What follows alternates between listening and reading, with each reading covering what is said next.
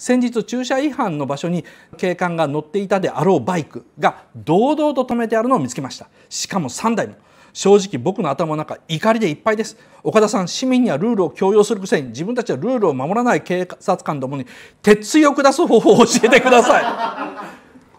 小林義則に言えってこういうのは。正義感で商売してるやつに言えよそういう話は。警察官ってさ法律を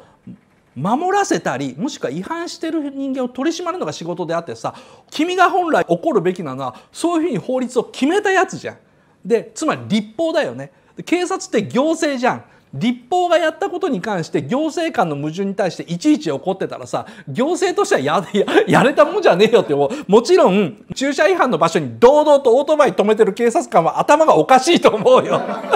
でもあの怒りの気持ちはわかるけどもそれは怒るっていうのはさ俺何回かこの番組で言ってるんだけど人間が怒るっていうのは誰かに対して怒るとか何かに対して怒るんじゃなくて自分の無力感に対して怒るもんだからあのこれに関して言えない自分つまり向こうは警察官なんだから言えなかった自分に腹が立ってるわけだからさそう思うんだったら警察官にその場であの怒ってやればいいよで警察官ってそういうふうに怒られたらびっくりするぐらいヘコヘコしてくるからあのあんまり案外仕返しとかしてこないから大丈夫だと思います。